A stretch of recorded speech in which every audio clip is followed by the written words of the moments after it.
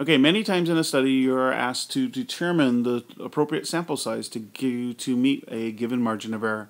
The company may ask you to get within 0.01 of the mean, or they may ask you to get plus or minus three points of the true population. Whatever the margin of error is, and you've got to use that information to determine what the sample size needs to be.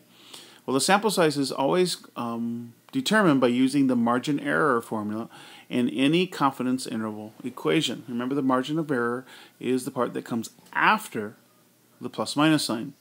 So in this case, because it's categorical data, if you notice here, we are using z star, which is our critical point, and the standard deviation formula for categorical data. And we're using p hat as a representation of p. If you remember, when we use p hat as a um, substitution for p, since we don't know what it is, this is called the standard error. Okay? So just as a quick reminder.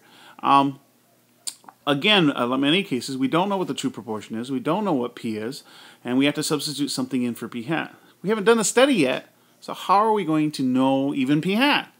Okay, so in that situation, we have two choices. Either if there's some bit bad previous experience, or somebody's done a study similar to this, or you've done a pilot study where you can get an estimate from p hat, you can use that. Or if that's never been happened, you use p hat as being 0.5.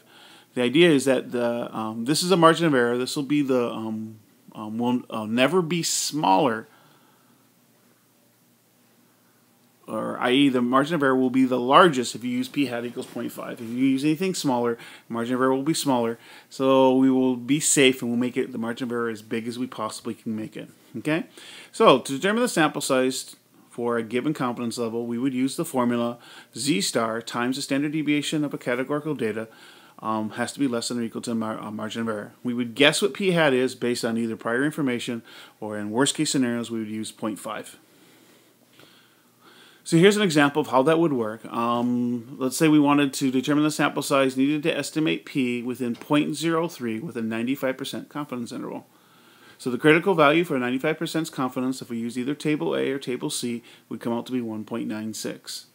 Then we would set the equation, um, take the z star times the standard deviation, um, and set it equal less than or equal to our margin of error, which would be 0.03. We would then solve for n, keeping in mind that p hat, if we don't know what it is, we would use the replacement of 0.5 wherever we had p hat, knowing that that wouldn't make it any bigger. Uh, the answer that would be the biggest possible margin of error.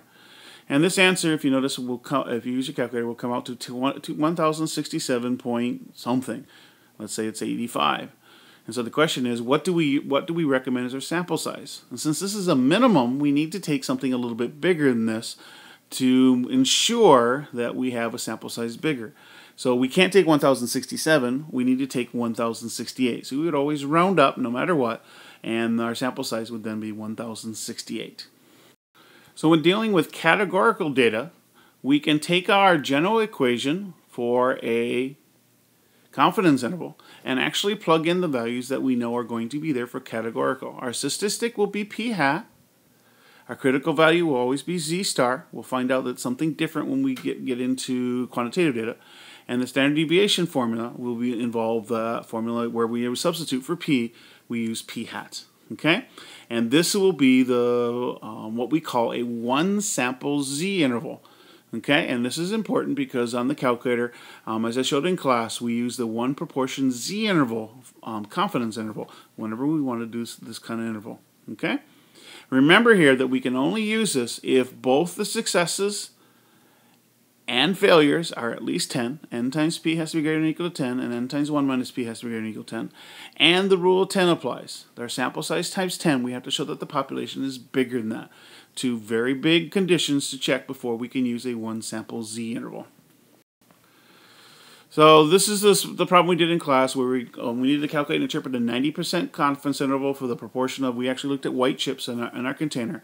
And remember I claimed there were 60% of the chips were white. Okay, and so we created a confidence interval using your sample proportion. So I'm going to use the example 17 out of 40, which is 0.24425, and we created our confidence interval. And as you can see here, this is our p hat plus or minus a critical value for our 90% confidence interval times the standard deviation of our statistic where we use 0.425 as a replacement for p. And we grab our calculator and we find out that our confidence interval is in between 0.297 and 0.55. So we would interpret this as saying we are 90% confident that the interval from our lower bound 0.297 to our upper bound 0.55 captures the actual proportion of, and remember I had white chips here instead of red chips in the container. So if you remember, this is a situation where everybody got an answer that was something similar to this, and if you notice, 60% is not within the confidence interval. So we would have evidence now that Mr. Long lied, and this is a situation where I lied, where I told you it wasn't, uh, it was not actually 60%, but it was something else. And this is how we can prove or disprove a situation in which we question somebody's claim. So remember, when we're solving these problems, we always use the four-step process. Spanish people dance the cha-cha, state, plan, do, and conclude. State what what is it you're trying to estimate? What parameter are you trying to find out? Is it um, p? Is it um, mu? Um, identify the appropriate inference method. In this case, we are making a decision between um, categorical or quantitative data. So we want to make sure the confidence interval formula is correct.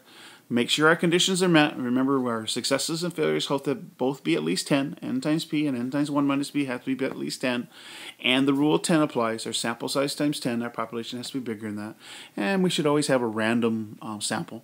And then conclude. We always have to um, interpret the interval in the context of the problem, and that's a memorization thing to get the exact wording correct. But this is how we solve confidence intervals. We always use these four steps as we do that.